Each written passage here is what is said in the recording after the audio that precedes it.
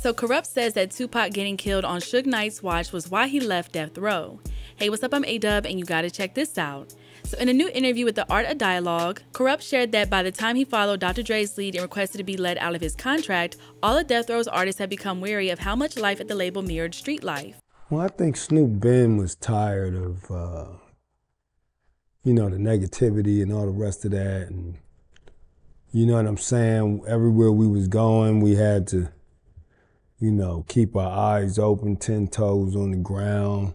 We had to stay heated and make sure that we protected ourselves. You know what I'm saying. And then to go to death row and feel the same way as when we in the streets you know, we all kind of got burnt on that. So, you know, the first one to leave was Dr. Dre. The second one to leave Death Row was Kurupt. The third one to leave Death Row was Snoop. He went on to explain that while his group mates Snoop Dogg, Daz Dillinger, and Soopafly were still signed to Death Row after Dre left, he simply couldn't get past the fact that not even Suge Knight's presence could assure their safety. Do I, Dr. Dre set off the whoop wop like, you know, it can be done, you can leave. When I saw Dr. Dre do that, uh, Tupac got killed. When Tupac died, that was the, uh, final straw for me. I was like, see, this is too much. You know, niggas is getting shot even with Suge.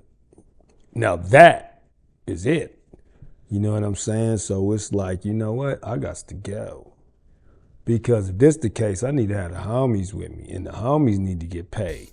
Despite the criminal element that seemed to follow Death Row at its peak, Kurupt said in a separate clip from his appearance on The Art of Dialogue that Snoop and Daz did their best to keep Tupac away from the Los Angeles gang culture they had all grown up in. Upon leaving Death Row, Kurupt went on to launch his own imprint, Antra Records, at A&M Records, through which he released two solo projects but he remained part of Suge Knight's roster as one half of the Dogg Pound with Daz Dillinger. Once Daz finally stepped away from the infamous label, the duo changed their name to Dogg Pound Gangstaz (DPG) after Knight claimed ownership of their original name in any music they had recorded prior to their departure. Kurupt would rejoin Death Row in 2002 and eventually become its vice president. He released his fourth studio album Against the Grain on the label in 2005. But what do you think about what Kurupt had to say in this new interview? Let us know your thoughts in the comment section below. Make sure to hit that subscribe button and notification bell to stay up to date on all of our new videos.